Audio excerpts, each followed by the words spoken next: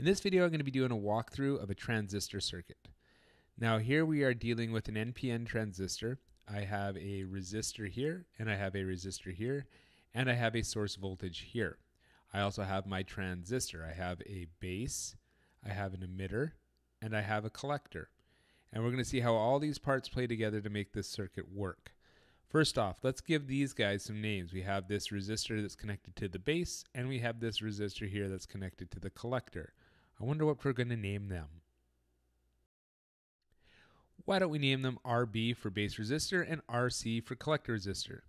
Now this Q down here, that's not a typo, that's just the symbol for transistor.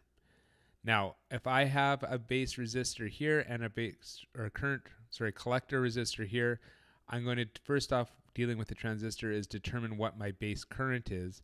In order for that to happen, I need to have a voltage. So let's assign a voltage. Let's go with 24 volts. Going to start with 24 volts. All right, now we need to figure out what the voltage is across RB. A transistor is basically like two back-to-back -back diodes. So what we're looking at here is a diode here that will be forward biased. And what is the volt drop across a forward biased silicon diode, you ask? It is 0.7 volts. So we will have a 0.7 volt drop from the emitter to the base always if it's a silicon. If it's germanium, it's 0.3. Now, if we look here, we have a circuit that goes through here over to here. So if I have 24 volt source and I have a 0.7 volt drop here from the base to emitter, the rest of it must be dropped across RB, which, doing the math in my head, works out to be 23.3 volts. Next, in order to get the base current, we need to give this resistor a value. I picked 61.3 kilo ohms. Those ohms are kilo, yo. So we need to figure out now what the base current is. Using the power of Ohm's law, I can take voltage divided by resistance to get current. In this case, that's going to work out to be 380 microamps. They are teeny in their tininess.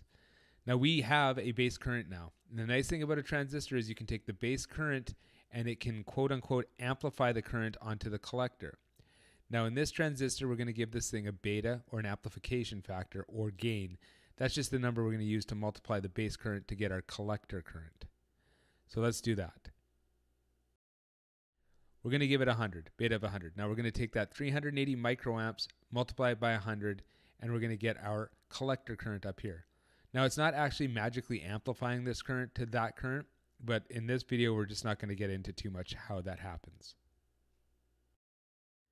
Just suffice it to say that the current basically changes over here. So we're going to do that. 380 microamps times 100 gives us a new collector current over here of that's right, 38 milliamps. Now that we have the current on the collector side, we're getting closer to the end. We need to figure out what the volt drop will be across the collector resistor. Well, in order for us to do that, we need to have a resistance because we have a current. We need to take the current times the resistance, again using Ohm's law, to figure out what the volt drop is across this resistor. So let's try that out. we are going to give it the value 500 ohms. So I've got 38 milliamps running across a 500 ohm resistor that gives me a voltage of 19 volts. All right, so remember before I said that we had a circuit that was running this way. That's true. We also have another circuit which runs this way across it. So Kirchhoff's law still is obeyed. I've got 24 volts here. I have 19 volts here. The rest of the voltage has to be dropped somewhere. We're going to drop it like it's hot across the collector to emitter.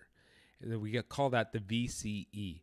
So I'm going to take 24 volts minus 19 volts, and I'm going to get a voltage of 5 volts that I'm going to put across VCE. And there we go, 5 volts. And that's it. We've calculated the whole circuit out. So transistors, while they can seem a little intimidating at first, once you get the rhythm of it, it's not that bad. You take this voltage minus this voltage to get this voltage this voltage divided by this resistance to get this current. This current times the beta of this transistor to get this current. This current times this resistance to get this voltage. This voltage minus this voltage gives you this voltage. Done and done.